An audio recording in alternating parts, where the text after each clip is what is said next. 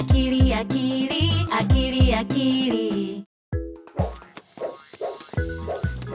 Umunsi umwe nguge bush baby nanjye akiri twasimbukaga umugozi.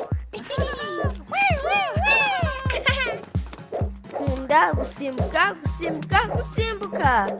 Bush baby akunda gusimbuka gusimbuka gusimbuka. Nguge nawe akunda gusimbuka.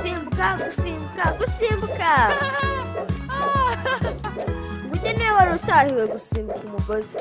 Yarasimbutse rimwe kabiri gatatu kane gatanu ariko yasitaye aragwa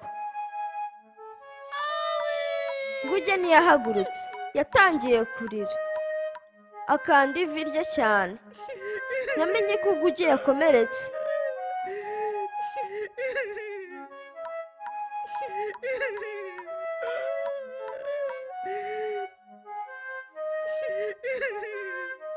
Sinkunda kubona inshuti zanjye zirira. Birambabaza nashakaga ko nguge yishima. Negereye nguge ndamuhobera. Bush baby nawe yashakaga ko nguge yishima. Yafashe nguge amuhanagura amarira. Twafatanyije guhagurutsa nguge. Nguge arekeraho kurira ariko ivi ryari riri kumurya nashakaga gufasha ngo ujye kwishima. Narebye ivi rye ryakomeretse. Hariho igisebe kiri kuva amaraso. Namenye ko akeneye ubufasha bw'umuntu mukuru. Nuko ngewe na bush baby tumushyira bush fada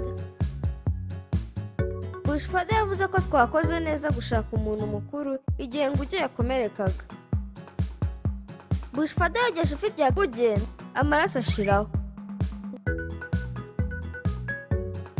Nguge yongeye kumererwa neza yaranasekaga. Nkunda inshuti zanjye. Tuzi ko iyo inshuti yacu ibabaye twayifasha kwishima. Rimwe na rimwe tugashaka umuntu mukuru udufasha.